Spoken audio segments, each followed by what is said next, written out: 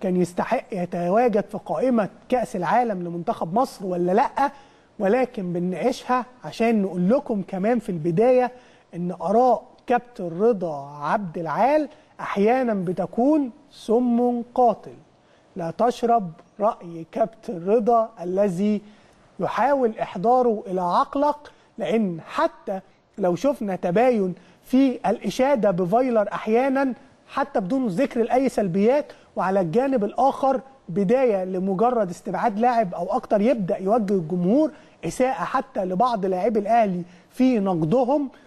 هنقف عند آراء كابتن رضا عبد العال اللي كان لو البعض خد بيها كان ممكن نشوف الكرة مش زي ما هو بيعتقد أفضل لا أسوأ في حاجات كتير. نشوف رأي كابتن رضا عبد العال عن كابتن محمد الشناوي في اعقاب اختياره لقائمة المنتخب في كأس العالم. الكرة بتاع الجنش اللي نقذها والكرة اللي جت في العارضة دي. عفريت النهارده عفريت جنش النهارده. شايل كور من كل حتة. ما شاء الله يعني إحنا دايما ويمكن قلنا من حلقتين ثلاثة إن هو لازم يلعب منتخب. ويبقى رقم واحد صح؟ أيوه صح حضرتك رقم اتنين يبقى عواد. عواد شفناه شفت النهارده آه، لقطة له كده على ال- اليوتيوب. صادد انفراد وتترد للراجل التاني بيحطها بدماغه الراجل بيعمل آه، تغيير اتجاه وبيطلعها من المقص الناحية التانية. رشاقة ما شاء الله يعني. الناس دي شفت انت بقى الشناوي بتاع بيراميدز؟ شفت الشناوي بتاع النادي الأهلي في الخمسة؟ آه. حرام إن دولت يلعبوا والاثنين دولت ما لعبوش. حرام. آه طبعا. ودي رساله للكابتن أحمد ناجي. الضمير بقى. ماليش دعوة بالنادي. الناس عندها ضمير أكيد بس دي اختيارات فنية يعني. يابا اسمعني طب بقى اتكلم في الاختيارات بس بلاش دعوة بالضمير. لا لا لا لا بص اللي إحنا بنشوفه أو إحنا بص بنشوف. انت لما الشناوي علي ساعه كاس العالم قلنا يقف على عصام الحضري وعلى أي حد. حصل؟ أيوه حصل. الضمير فعلا. الضمير هو أكتر حاجة محتاجين نقف عندها يا كابتن رضا. دايما بتشوف بفكرة الرأي اللي هيثير جدل وهيبقى مختلف وراهن عليه. لو ما اتحققش اهي الناس بتنسى. بس لو اتحقق يبقى أنا قلت حاجة مختلفة. كل مرة كابتن رضا بيبيع بالفكرة دي. الغريب إن هو آه، قال آه، فعلا سم قاتل قال نقطة مقتله في الفيديو اللي قاله ده. قال أنا شفت العواد لقطة على اليوتيوب. هل ده تقييم فني؟ يعني أنا عايز أقيم حارس هقيمه من خلال لقطة على اليوتيوب. وهل اللقطة على اليوتيوب دي تخليني أتهم آه، مدرب حراس المرمى بإن مفيش ضمير؟ الغريب إن أنت لما قلت إن الشناوي في كأس العالم يلعب أو ما وما يلعبش في أمم أفريقيا الشناوي كان أحد أبرز لاعبي منتخب مصر في أمم أفريقيا بشهادة كل المنتمين لكرة القدم. فبالتأكيد والحمد لله ما خدناش برأي إن جنش أول طبعا الاصابه ونتمنى له الشفاء العاجل وهو عاد تقريبا ومحمد عواد. لا لعب الشناوي وأجاد فده ده الرأي. الأهم بقى تعالى الموضوع كأس العالم ونشوف أنت أصلا كنت بتقول إيه كمان عن حراس المرمى. لما إحنا رايحين كأس عالم يا أستاذ وائل. يعني يعني مثلا الاختيارات نبدأ من حراس المرمى. حراس المرمى. عواد دوت أحسن حارس في الثلاثة اللي خدهم. ده كل آه. الإحصائيات وكل النظريات وكل ال- ال- المحللين وكل بتوع الكورة بيقول لك إن أحسن حارس مرمى السنة دي عواد لا خلاف. يعني المفروض مثلا خده الثالث أنت واخد شريف إكرام يعمل إيه؟ واخد واخد الشناوي يعمل إيه؟ ما الشناوي لعب الماتش اللي فات وثلاث أربع كور وقعوا من إيده مع انها كور عمودية يعني مش كروسات كمان ضبابير يعني ده إحنا الماتش اللي جاي بتاع الاورجواي يا أستاذ وائل هتلاقي الضبابير على حق ربنا لأن في اتنين رصاص حربة دول الكفرة ما يعرفوش حاجة غير إن هم يجيبوا جوان. كفر إيه بس يا كابتن رضا؟ استهدى وضبابير اللي. ما وقفتش عندها يعني. بالله. آه لا ما هو ضبابير دي عادي لكن كفر دي نستهدى بالله. ضمير إيه؟ ده أنت دخلت في سكة تانية خالص.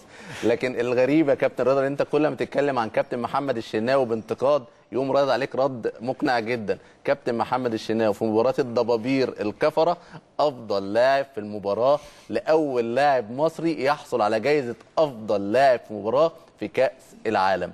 ده الضبابير أمام الضبابير وأمام الكفرة وأعتقد عمل مباراة كبيرة جدا. أعتقد ممكن ما يكونش شاف الماتش أصلا. بس الأهم أو والأغرب يكون باراجواي اسلموا الضبابير كان مؤثرة على رؤية كابتن رضا اللي هنروح للفيديو ده بقى حاليا. نشوف كابتن رضا شايف الأمور إزاي فيما يخص اختيار القائمة اللي هتشارك مع المنتخب الأولمبي في أولمبياد طوكيو عشان هيكون لنا تعقيب مهم جدا. آه. فالراجل لما الكابتن أحمد ناجي بعت لي على أقسم بجلالة الله هو دلوقتي مش ماسك أهو وبعيد. آه. الراجل أنا كلمته قلت له ما تزعلش مني لأن مصر فوق الجميع. قال لي عندك حق. وقلت له ما تزعلش وأنا بتأسف لك على اللي حصل بس أي حد هيجي مكان أحمد كابتن أحمد ناجي هعمل فيه كده. طالما إن هو يعني في في, في موضع المسؤولية.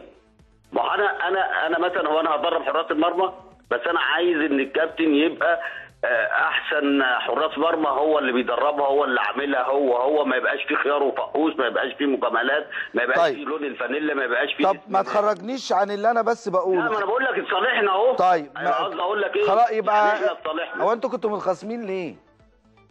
ما هو عشان إن أنا كنت بنتقد الكابتن أحمد ناجي. آه لا كابتن أحمد عشان ناجي. الاختيارات بس. لا كابتن أحمد ناجي شخصية محترمة وأنت شخصية محترمة والحمد لله الصلح خير. دلوقتي خلينا في الثلاثه بس اللي هيروحوا الأولمبياد بس اللي هم الناس كلها بتتكلم دلوقتي وصاحب الرأي الأول والأخير هو اللي هيختار الكابتن شوقي غريب. آه. تاخد برأيي؟ مع إن آه. محدش بياخد برأيي إلا بعد ما المصيبة تحصل. آه. صلاح. صلاح. ومحمد الشناوي. الله عليك. واخد بالك؟ الله عليك.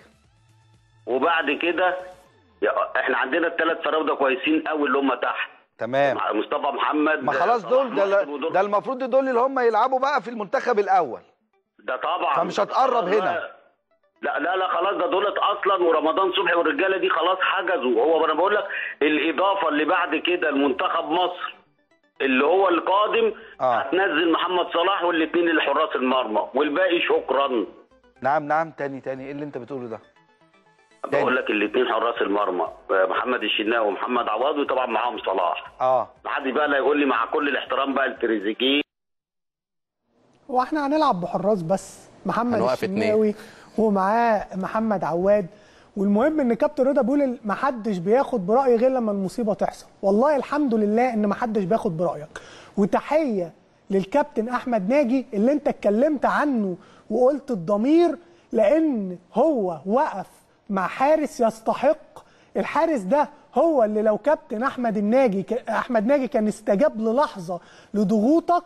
كان زمان الحارس اللي أنت بتقول يشارك في أولمبياد طوكيو فقد الثقة وما شاركش. أعتقد الضمير مكانه واحد بس وأعتقد إن فعلا أنت عرفت سبب إن محدش بياخد برأيك لأن يا كابتن رضا أنت محتاج تراجع آرائك اللي غالبا أنت مش هتراجعها لأن كالعادة هقول الرأي يبقى مخالف ومش منطقي وأرجع أراهن إن الناس هتنساه وبرضه بكل سهولة أطلع أتكلم عن كابتن أحمد ناجي وكأن الأمور كانت شخصية. لا ما كانتش شخصية. أنت فعلا أسأت الكابتن أحمد ناجي اللي أثبت بدون أن يتحدث إن هو مدرب. صاحب رؤية في وقت كان بعض الأشخاص ما عندهمش أي شكل من أشكال الرؤية. هو بص أنا عشان بس نوضح لأن بعض الناس هتلعب على فكرة أنا بنتقد الحالة الفنية في التوقيت الفلاني. إحنا جبنا تصريحات كابتن رضا عبد العال عن الشناوي قبل كأس العالم ورد عليه محمد الشناوي في كأس العالم. جبنا تصريحات الكابتن رضا قبل أمم أفريقيا ورد عليه محمد الشناوي في أمم أفريقيا. يعني الوقت اللي كان بيتم فيه انتقاد محمد الشناوي كان محمد الشناوي بيرد فعليا في الملعب على كابتن رضا. لأن وارد جدا يكون مستوى حارس المرة دي عالي في موسم أقل فيكون الرأي متباين. لكن لا الرأي ما كانش متباين. الرأي في عز تالق الشناوي كان بيقول لا يصلح. والغريب بقى في عز إن الدنيا كلها بتتكلم عن محمد عواد الكابتن رضا عبد العال عايز نلعب بيهم في الأولمبياد باثنين حراس مرمى أنا بدأت أقلق من مدحك في محمد الشناوي ربنا يستر. لكن الموضوع ما كانش خاص بكابتن رضا عبد العال فقط لا غير كان برضه في نقاد رياضيين معروف